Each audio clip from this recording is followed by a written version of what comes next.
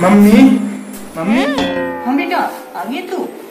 Mummy मेरे पापा मेरे अब्बू मेरे वाले साहब मतलब मेरे पिताजी कहाँ हैं? तेरा बाप एक पूरे घर में नज़र मार एक मनुष्य चीज़ तुझे बैठी हुई दिखेगी अलग।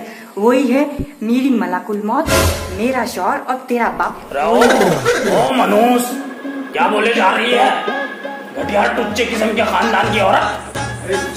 जब से तू मनोज मेरी ज़िंदगी में आई है ना तब से चली भी है तल्ला हूँ चली भी है। अच्छा खासा कारोबार हुआ करता था हमारे अब्बा का। बड़े बड़े फार्म हाउस थे लेकिन जब से ये मनोज औरत आके रखी गई है ना मेरी ज़िंदगी में तब से सब बुड्ढे तू सच तो हिजड़े हिजड़े ताली भैया के कमाने लगता है। तू तो घर में बैठा बेटा घर का खर्चा कौन चला रही है? दो महीने से लिफाफा सिल सिल के तेरी माँ चला रही है बेटा तेरी माँ। इस बुड्ढे के बस का तो कुछ नहीं रहा। चुप हो जा चुप चुप हो जा जलील और टुच्चे किस्म की खानदान की औरत। चुप हो जा अरे एक दो महीने से मेरे बाईपास की सर्जरी की ऑपरेशन क्या हो गया इसे लिफाफे क्या सिलने पड़ गए एक दो और मुझे हट दिखा रही है एक दो महीने से और अब मेरी माँ बता रही है तू अपने आपको जली रट टुच्चे किस्म की औरत जबान जबान के आगे इसके ज़मीन खाली है ज़मीन खाली है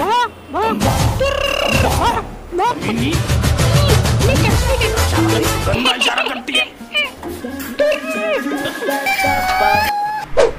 अरे समीर तू इधर आके बैठ? इस मनुष्य ने तो ज़िंदगी खराब कर रखी है। अरे बेटे तेरे एग्ज़ाम की तैयारी कैसी चल रही? बढ़िया जी पापा। जी बढ़िया। पापा मैंने आपसे कुछ कहना चाह रहा था। क्या कहना चाह रहे हो? वही मेरा फ्रेंड है ना निखिल मैंने आपको उसके बारे में बताया था। वो ना बाइक लाया है नहीं। लड्डू भिजवाए बेटा नहीं, लड्डू तो नहीं लाया। तो जो मेरा दूसरा फ्रेंड है ना वो भी नई बाइक लाया पापा। उसने भिजवाए ना पापा उसने भी नहीं भिजवाया। पापा पता नहीं लोगों को क्या हो गया। पहले तो भाई किसी के घर में कोई बात भी देता था तब भी मिठाई आ जाती थी। हाँ अब तो बड़ी बड़ी गाड़ियाँ लेते ले लेते हैं। लाखों लाखों की। और कोई बूंदी का दाम तक नहीं बेचता। पापा पापा मेरे को बाइक चाहिए हैं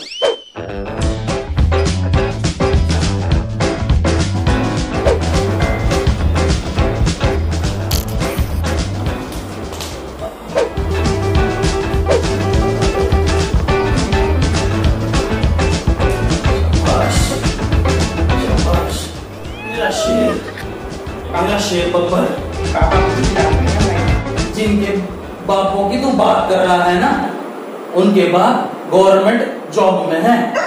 जॉब करते हैं गवर्नमेंट। तेरा बाप क्या करता है? तेरा बाप मोहल्ले की चौक पे वो भी वेडनेसडे वाले दिन जहाँ की जलेबी तलता है और दो महीने से वो भी काम बंद है। तेरे बाप की जो हमारे पास सर्जरी हुई हाँ। पापा, मैं जानता हूँ मुझे क्यों नहीं दिला रहा हूँ? क्योंकि मैं सोते लाऊ ना। क्योंकि मैं सोते लाऊ हाँ मैं सोतेला हूँ इसलिए आप मुझे नहीं दिला रहे हो, पापा। आपका अपना बेटा तो आप दिला देते। तू जानता है तेरी माँ तो जब से मेरी ज़िंदगी में ये तो थी बचपन से बनूस। जब से इसने मेरी ज़िंदगी में कदम रखा तो मेरा सारा बिज़नेस मेरे बड़ों का बिज़नेस सब चौपट होकर रह गया। मैं कहीं का नहीं रहा। फिर मुझे मेरे एक दोस्त ने कहा जलेबी का बिज़नेस बहुत अच्छा है तो जलेबी बनाने का बिज़नेस कर ले। मैं वो करने लगा। लेकिन मैं चाहता था कि मेरे मेरा जो बच्चा है मेरा इकलौता बच्चा वो बहुत अच्छे और बड़े स्कूल में पढ़े। तो मैंने मैंने लोन लिया, मैंने कर्जा लिया। मेरे सर पे इतने बाल नहीं है जितना कर्जा है।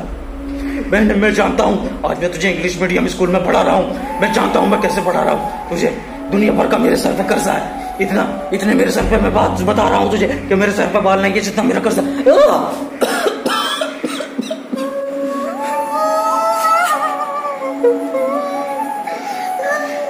कोई बात नहीं अब्बू तू मुझसे गाड़ी मांग रहा है और मेरी हैसियत नहीं है तुझे गाड़ी देने की।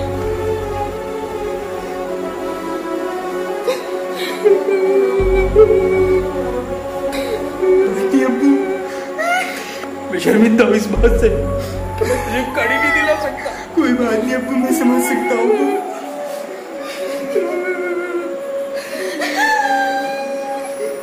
बेटे कर जा अबू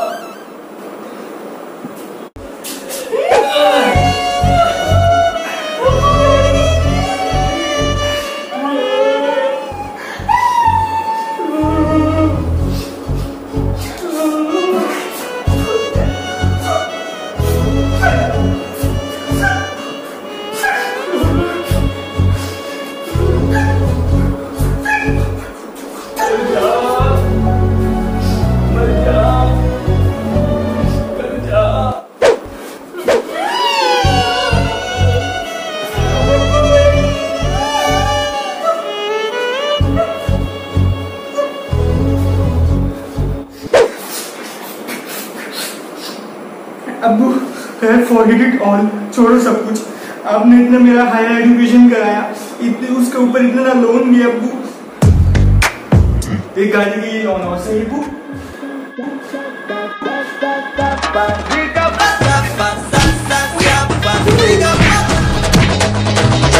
तो हाय एवरीवन मेक श्योर आपको वीडियो पसंद आई होगी so please get it a thumbs up and beautiful comment करें और वीडियो को शेयर कर दें आप। और नीचे दिए हुए सब्सक्राइब के बटन को प्लीज़ दबा दें दबा दें। और घंटे का बटन भी दबाना ना भूलें। घंटे का बटन भी दबा दें।